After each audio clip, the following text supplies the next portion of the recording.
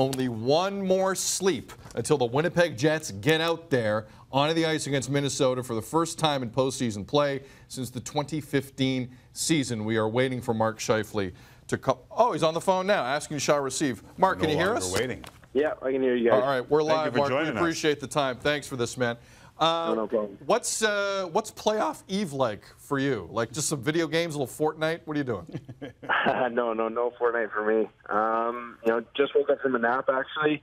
Um, my roommate uh, brought me home a smoothie actually. Oh, nice. So uh, you know, just relaxing. Um, you know, eat some good food. Make sure you get a, you get a, a good healthy meal in us carbs, tonight. And then carbs are big. uh, Carbs are big. Yep. carbs are always big. Good carbs, but uh, you know, not just a lot, just a lot of relaxing, and then uh, early bedtime. Uh, obviously, you guys have one of the best fan bases in all of the NHL. We were watching one of the hype videos that the team sent out earlier, Chris Jericho providing the soundtrack to it. Uh, have you been able to feel the city kind of rise as it begins and the whiteout will, will eventually come tomorrow?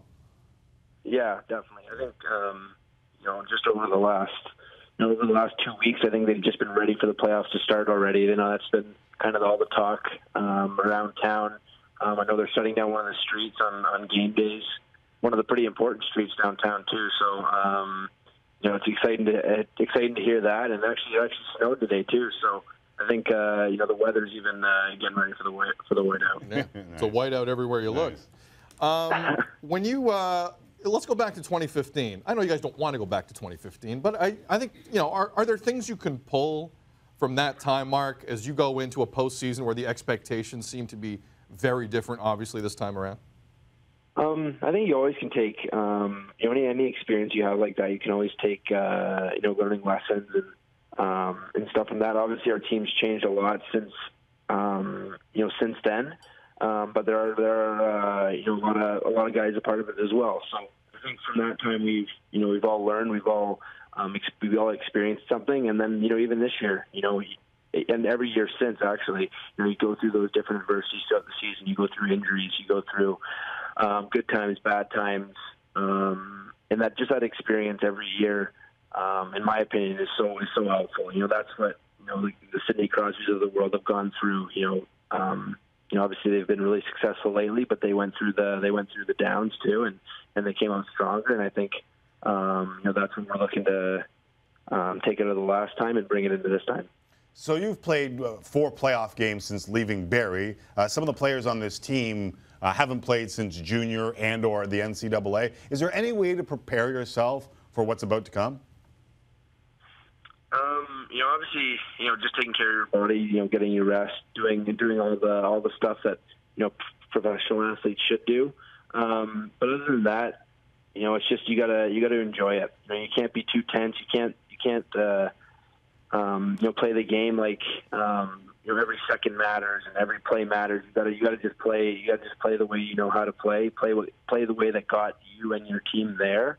And you know, obviously, it's going to be intense. There's going to be um, a lot at stake. But you know, I think for our team, we just have to focus on on what we on uh, you know what got us here, what got us to this point, and what what uh, what part of our game we need to we need to you know be the, be our best at, and just go from there. As I was asking, I'm thinking like in my head, you know what? This guy's probably been pre- preparing since the Dutchmen, since the, the Kitchener Junior Rangers. Like it's, it's kind of something that you've been waiting for all your life, I guess, right? Oh, for sure. I, I didn't. I didn't even good uh, good research knowing I played for the Kitchener Dutchmen, but Yeah, uh, My old um, man played there. That's why I knew that way way back in the day.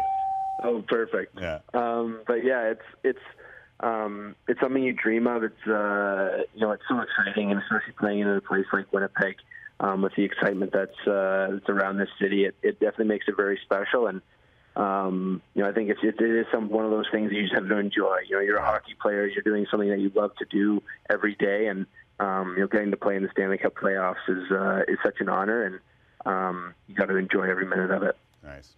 You, uh, we, we talked to you prior to the season, and we asked you playoffs or bust, right? And you go, oh yeah, playoffs or bust. Were you expecting franchise record for points or bust? Like, did you see this kind of year? You guys had a feeling you were going to be better, obviously, but did you see this year coming? Um, you know, unsure. Um, it's you know, I, I think we all knew we had a good team and we had the the pieces to um, to make it something special and make it something that you know could be could be um, something big. Um, but we, I think everyone was kind of unsure of how it was going to all play out how um, how everything was going to mesh together. And um, you know, I think you know, big kudos to, to Blake Wheeler. He he did a great job of you know bringing this team together and and you know making making us and helping us just get to the point of you know being consistent in our game and knowing knowing no matter if we have a bad game or a bad shift or a bad period that you know we knew how to play a game that that was that could be successful. And um and then we did that all season. You know we went through we went through a ton of injuries um throughout the whole year you know me included and um you know it always seemed like we we came back stronger the team um rallied around you know every you know every adversity to um, and make make something good out of it and make it um, you know make this good thing keep going and um, you know I think that's uh, that's what that's what makes a good team is that character. Uh, you mentioned Blake Wheeler, Mark. Obviously, he's been a huge part of this team.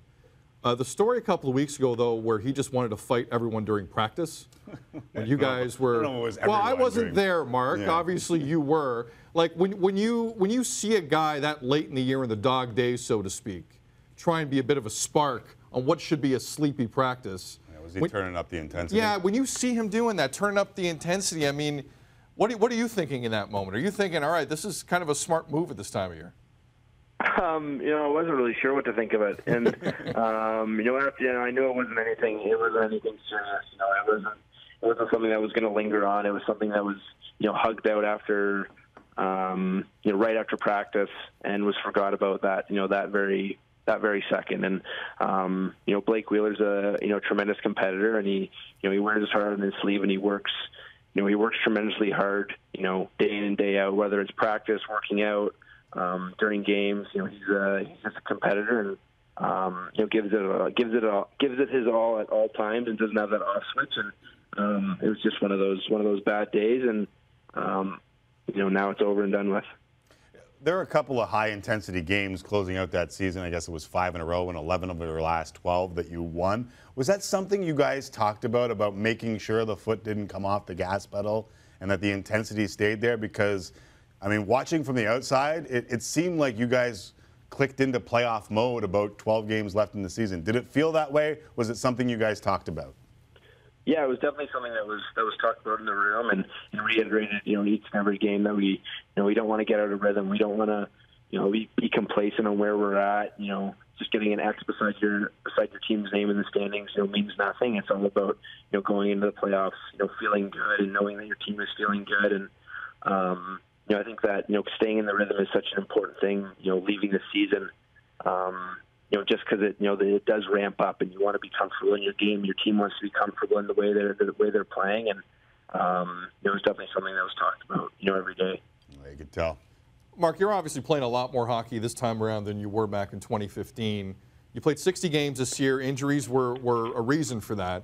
But I'm just curious how how you're feeling right now physically, considering how much hockey you do play when you're in there, and and when you get out, like how fresh are you right now? Uh, compared to other seasons? Yeah, I'm I'm I'm feeling really good. Um, you know, obviously missing missing those games was not ideal in my mind.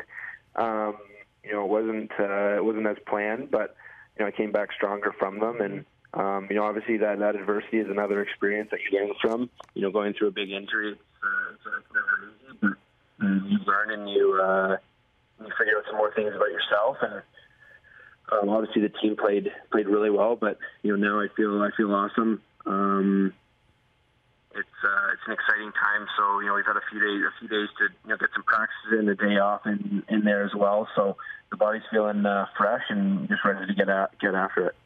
Uh, listen, I think a lot of people are ready to get after it. Let's get these playoffs started. Should be a special scene in Winnipeg. Uh, enjoy it. We'll be watching. Thanks a lot for taking the time and talking with us. Thanks for having me, guys. All right, there's Mark Scheifele of the Winnipeg Jets.